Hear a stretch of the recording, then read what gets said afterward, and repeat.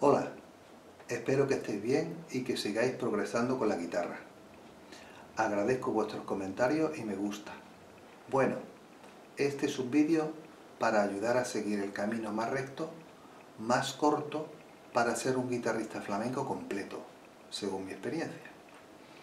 A muchos nos ha pasado que queremos empezar con la guitarra haciendo los temas de los mejores guitarristas solistas y no pensamos que estos normalmente han andado un largo camino de acompañamiento al cante y al baile para por último hacer solos. En realidad, tocar únicamente como solista serviría para las personas que se conforman con eso, pero son pocos casos. Lo normal es que el guitarrista quiera saber más o menos el acompañamiento al cante, quizá también al baile, y el toque solista, conociendo así las distintas facetas del flamenco y por tanto siendo un guitarrista completo. Entonces, los cuatro pasos para los que empiezan o ya están en el camino y puedan rectificar serían de manera resumida los siguientes. Primer paso, conocer el toque elemental de todos los palos y el compás de los que los tengan, sin entrar en falsetas aún. El segundo paso sería aprender el acompañamiento al cante y al baile de manera básica, de manera general, en cuanto a compás, tonos y partes, también sin apenas falsetas. El tercer paso serían las falsetas y el cante y el baile con profundidad. El cuarto paso serían los solos. Estos pasos no tienen por qué ser estrictos y hasta que no sepas uno no pasar al siguiente. No, podemos ser flexibles, pero son una guía básica que la tenemos de referencia. Vamos a explicarlos uno a uno. El primer paso es conocer el toque elemental de todos los palos y el compás de los que los tengan sin entrar en falsetas aún. Esto se dice muy pronto, pero aquí ya hay un buen camino para recorrer.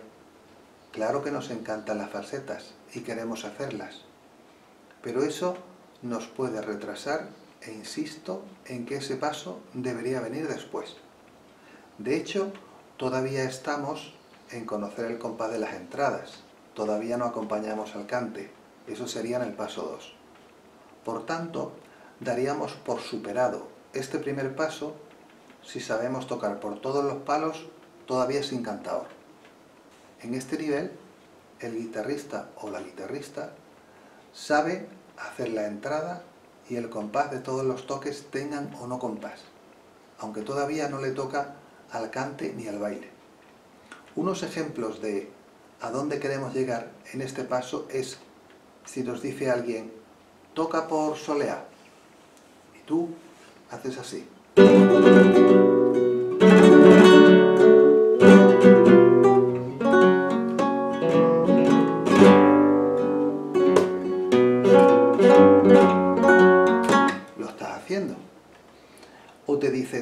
Fandangos, y tú haces esto, cosas fáciles, pero bien hechas.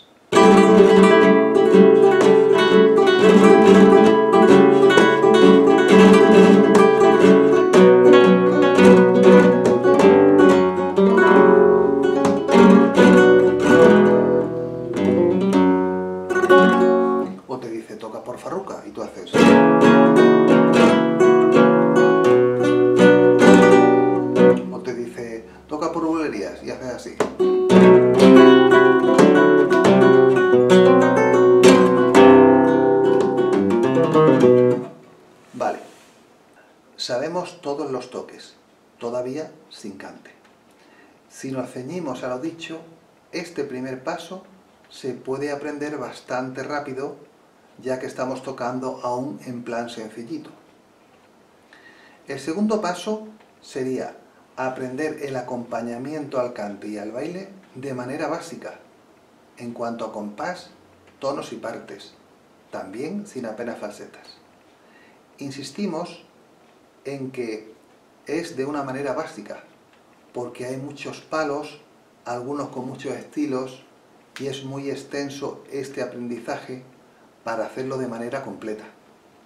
Daríamos por bueno este nivel si estamos con cantaores y bailadores y damos entrada mantenemos el compás y damos los tonos del cante, aún sin hacer apenas falsetas. Las falsetas, que es lo que más nos gusta a los guitarristas, es lo de menos para el cante, que lo que quiere es tono, compás y que le den los acordes que canta, lo que llamamos que le den los tonos.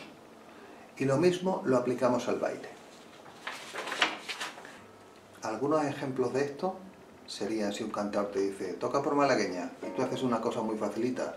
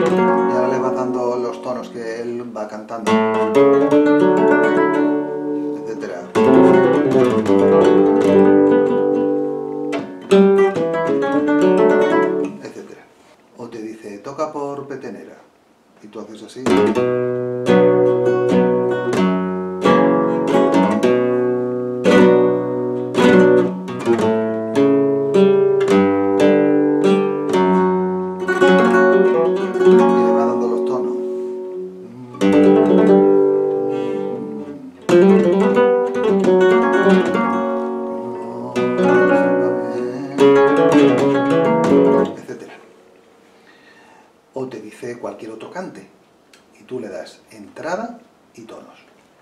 Hay muchos cantes y muchos tonos o respuestas para darle al cante. Por eso deberíamos trabajar, pero todavía de manera básica, ya que estamos en un primer nivel de acompañamiento. Daríamos este nivel por bueno si en una reunión de amigos te van pidiendo cantes y tú les das entrada y los tonos y mantienes el compás si hay. Este paso es un poco más largo y laborioso, pero con afición todo se consigue. El tercer paso serían las falsetas. Ya estamos dando entradas y los tonos al cante. Ahora llega el momento de las falsetas, que nos sirven para recrearnos personalmente, para sentirnos más guitarristas.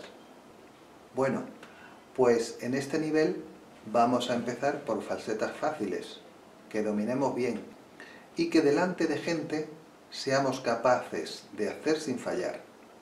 Nos enfocamos siempre en falsetas que podamos dominar, ya que nos retrasaría en practicar mucho tiempo falsetas difíciles que no nos salen bien. Esas las desechamos por ahora, ya las retomaremos más adelante porque vamos mejorando poco a poco y pasado un tiempo es posible que las hagamos con mayor facilidad. Aquí lo importante es que seas capaz de meter la falseta en medio de un cante, porque una cosa es practicarla tú solo y otra es acompañar y meter la falseta en medio de un cante y las cosas se complican si hay gente y más todavía si estamos en un escenario. Cada vez haremos falsetas de más nivel, pero siempre que nos salgan bien, con soltura. Además de las falsetas, en este nivel, para los que quieren acompañar al cante, hay que profundizar en los distintos estilos de los palos, y eso se consigue escuchando mucho cante en general y practicando en dar los tonos o simplemente memorizar los que siempre se hacen más o menos igual. Por ejemplo, la granaína, la petenera, los fandangos, etcétera, los tonos se saben de antemano, con pequeñas diferencias. Sin embargo, en cantes como tarantas, tangos, bulerías, hay muchos estilos y formas y hay que cogerlos por conocimiento, ayudándonos muchas veces por el oído, el cual también se va formando con la práctica. Y vamos por el cuarto paso, los solos. Hay guitarristas que no se plantean hacer solos y como mucho tocan unas cuantas falsetas si les piden un solo.